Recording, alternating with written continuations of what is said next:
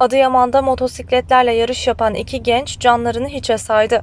Adıyaman Atatürk Bulvarı üzerinde yabancı uyruklu oldukları öğrenilen iki gencin motosikletle birbirleriyle yarış yapmanları cep telefonu kameralarına yansıdı.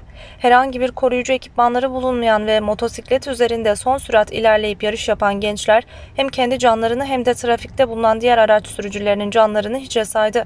Bir süre yarış yapan motosikletli şahıslar daha sonra ara yollara girerek gözden kayboldu.